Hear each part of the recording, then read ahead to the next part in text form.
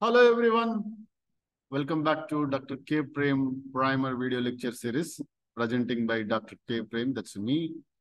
In today's lecture, we'll talk about uh, what is genomic library and how to construct it. Let us first define what is genomic library. A set of recombinant clones that contain all the DNA present in an individual organism is termed as genomic library. You see, a set of recombinant clones that contain all the DNA present in an individual organism is termed as genomic library. So when you want to sequence whole genome, you cannot sequence, you know, from uh, first chromosomes to 20, 23 chromosomes in case of mammals, especially humans, right? So instead that, if you fragment the fragment the entire set of uh, DNA or entire uh, entire genome, and each fragment is cloned into the suitable vector, and those vector those recombinant, recombinants are representing the entire genome in a parts and parts. The collection of recombinant clones that is called as a genomic library. Genomic library construction has five steps. Five steps. The first one is isolation of genome or DNA, total DNA. Second one is fragmentation of DNA, DNA. Third one is DNA fragments and vectors are ligated.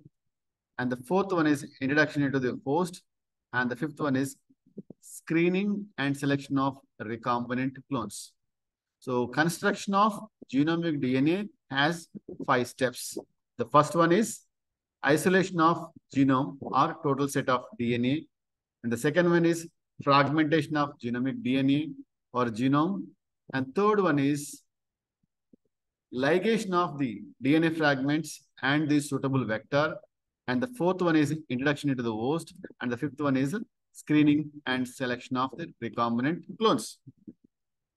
You see, isolation of total set of DNA. And the isolated set of total set of DNA is fragmented. Fragment means make a small, small pieces. And those small fragments are cloned into this suitable vector. So if the DNA fragment is uh, 5 kb, you can use the plasmids. If you have 20 kb, you can use the uh, lambda phage uh, replacement vectors. If the DNA fragment is bigger than the 40 kb, you can use the cosmids. So based on the size of the fragment, you can choose the suitable vector, right? And once you ligate both insert or fragment and the vector, then you introduce into the host cell. That's a fourth step. And the fifth one is screening and selection of recombinants. So genomic DNA library construction has five steps. The first one is isolation of total DNA or set of DNA or genome. The second one is the fragmentation of DNA. And third one is ligation of vector and those DNA fragments. And the fourth one is introduction into the host cell to amplify them. And sixth one is screening and selection of recombinants. Let us see the how to construct the genomic library by using the cartoons here. You see, here, this is what is the genome of uh, one organism. Assume that the, that particular organism have 50 kb uh, genome, which total set of uh, DNA. So once you isolate the total set of DNA or DNA from that organism, what you have to do is you have to fragment. You cannot clone the genome as, as it is, right? So once you make these small cuts uh, by using the restriction digestion or mechanical shearing, and you get a smaller fragments. Those smaller fragments can be cloned. Here, we are using the EcoR1 enzyme to digest the this genome of a 50 kb. So EcoR enzyme can cut the DNA at every 4,100 base pairs. Means every 4,100 base pairs, the EcoR1 enzyme can cut into the cut. So when you have a 50 kb, after digestion of with the EcoR1, roughly you will get the 12 fragments of 12 DNA fragments with the size of uh, 4.1 kb. So EcoR1 is enzyme, right? It is a hexanucleotide recognized sequence, and it can cut at the at every 4.1 kb length. See, scanned and uh, fragment digestion and use these smaller fragments, right?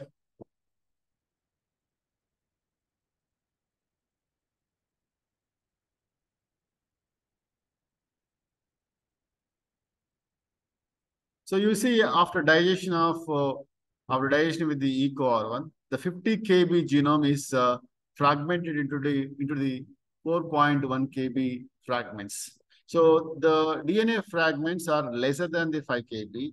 Then you can uh, choose the uh, plasmid as a vector. So plasmid can uh, accommodate the uh, 5 kb uh, insert easily. Hence, you are choosing the uh, plasmid as a vector. So based on the size of the insert or based upon the size of the fragment, you can change the vector system. Whenever the uh, fragment size is uh, 4 kb or 5 kb or 6 kb, you can choose the plasmids. If it is 10 kb, you can use the uh, lambda phage uh, insertion vectors. If the 20 kb, you can use the lambda phage replacement vectors. If it is 40 kb, you can use the cosmids. Right? Here, we are using the plasmid vector uh, and uh, that vector also digested with the same enzyme, right? Now, DNA fragments and uh, inside, you know, the vector have the compatible complementary hands so that if the DNA fragments and the digested vector is ligated, that's right. So vector and inserts are ligated and they are uh, going to be uh, have a ligation by T4 DNA ligase. So when a DNA fragment, uh, when a DNA fragment with the complementary or compatible coefficients come together, then they are ligated. Then they are ligated by using the T4 DNA ligase. This is the third step. And the fourth step is introduction into the host cell since we are using the plasmid vector and we are transforming them into the E. coli. And the, once you transform, you have to screen or select the recombinants, right? So selection and sc screening and selection of the recombinants, that's a fifth step in the genomic DNA library construction.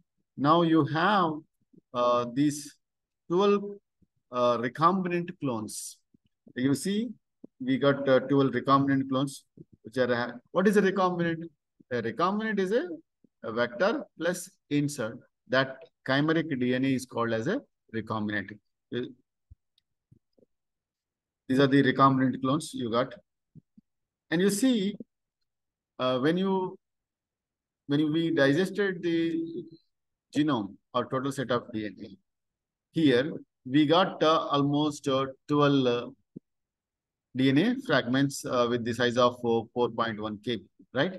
So now you look into the, we got the 12 clones and you see 11th clone have the A fragment. And the ninth clone have a B fragment. And 12th clone is having C. And uh, third clone have, have a D fragment.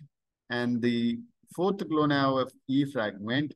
And seventh clone have a F fragment, and fifth clone have a five G fragment, sixth clone is H fragment, and eighth clone is uh, I fragment, second clone is J fragment, and tenth clone is having K fragment, and the first clone is having L fragment. So the total DNA fragments of the, the DNA or the genome are randomly cloned.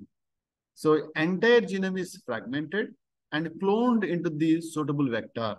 Now, when now the DNA, total set of the DNA or genome of the particular organism is, is uh, placed in a, a different clones with the different lengths or, or the same length.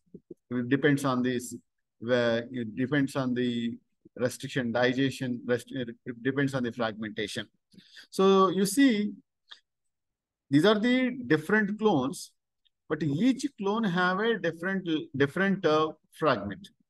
Altogether, they're representing the entire genome of the organism. Yes or no? So here, the entire genome is, entire genome is placed in a different uh, clones.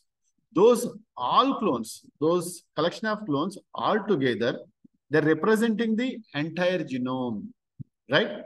So the, these, these uh, clones, which are representing the entire DNA of organism, hence they are called as the genomic library.